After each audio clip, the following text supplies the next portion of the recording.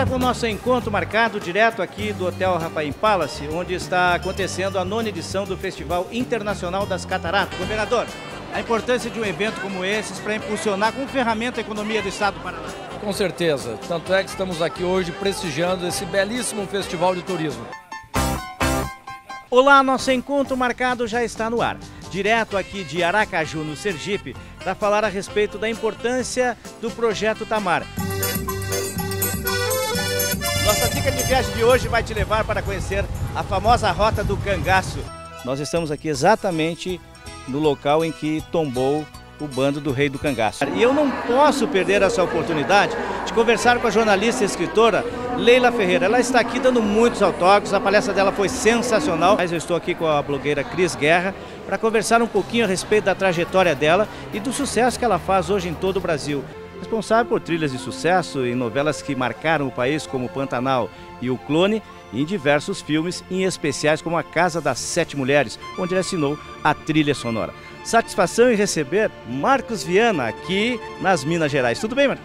Prazer em tê-lo aqui, finalmente, né? Devolvendo aquela visita das cataratas, agora você está conhecendo as nossas montanhas, né? Eu quero que você atente conosco. Nós estamos recebendo o seu Euclides Gaba Júnior. Ele é sócio-diretor do Aquapark Hotel e Resort Taiaiá. Mas antes eu quero saber como essa angolana veio parar aqui nessa fronteira entre brasileiros, paraguaios e mais de 60 etnias. Tudo bem, Paulo? Uhum, bom dia, bom dia a todo mundo. Aqui no Ceará e eu queria agradecer a toda a equipe da Faculdade Integrada da Grande Fortaleza por nos proporcionar essa oportunidade de realizar esse trabalho especial aqui no Ceará. Também ao diretor da faculdade, o engenheiro José Liberato Barroso Filho, nos proporcionando essa oportunidade de conversar com Paulo Nogueira.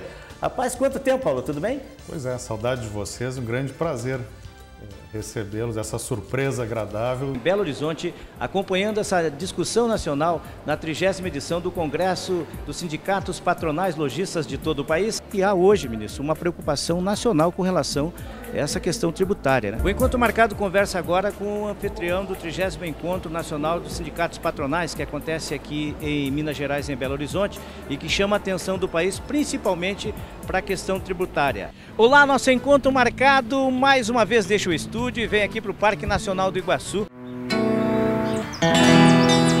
Pelo dedilhar do Cristiano, você já descobriu que eu estou no Rio Grande do Sul. À minha esquerda, o compositor e cantor João Chagas Leite.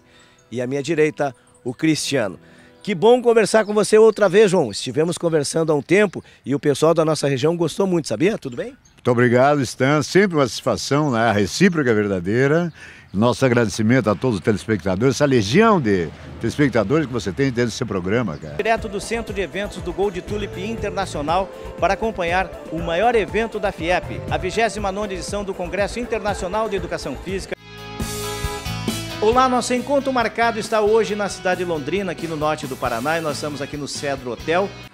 Oh,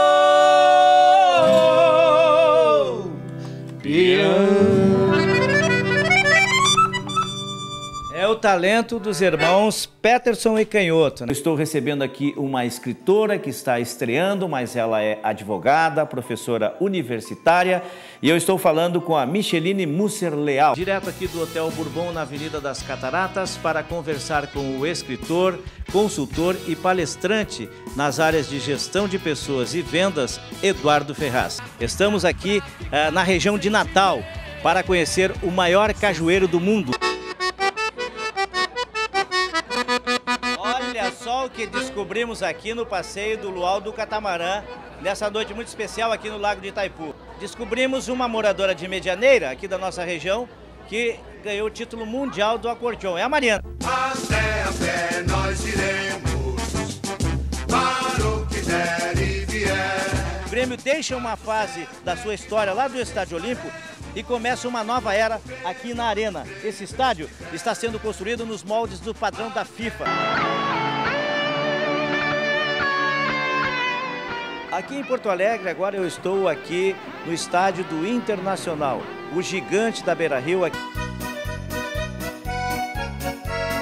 Olá, nosso encontro marcado já está no ar. Nós estamos no meio oeste de Santa Catarina, no 13 Tilhas Parque Hotel, em Curitiba, na capital dos paranaenses, onde daqui a pouquinho, aqui na sede social do Paraná Clube, acontece a entrega da sétima edição do Troféu Guerreiro do Comércio 2012 e um desses troféus será para Sadi Carvalho, que há 45 anos se destaca no ramo de comércio em Foz do Iguaçu. Nós estamos mais uma vez bem distante aí de Foz do Iguaçu do Paraná, estamos no estado de Alagoas, na capital Maceió e na unidade do Sesc aqui da praia de Iguaxuma. E descobrimos aqui uma antiga casa da farinha dos moradores de muitos anos aqui dessa região. Nós estamos aqui no Hotel Bela Itália, como eu disse na abertura, uma degustação, uma noite especial aqui de integração de empresários brasileiros e argentinos e a família responsável aqui pelo Hotel Bela Itália recebendo aqui o seu Ricardo Santos, que é um dos principais vinicultores da Argentina e do mundo. Ele é responsável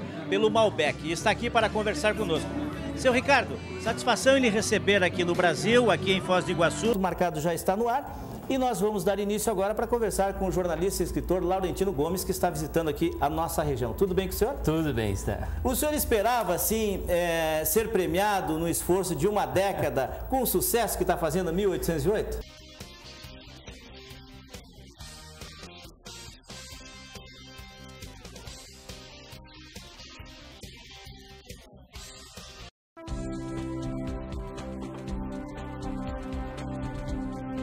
E eu encontro aqui um conterrâneo, olha só, o Guri de Uruguaiana, mas que satisfação em te encontrar, Guri, tudo bem?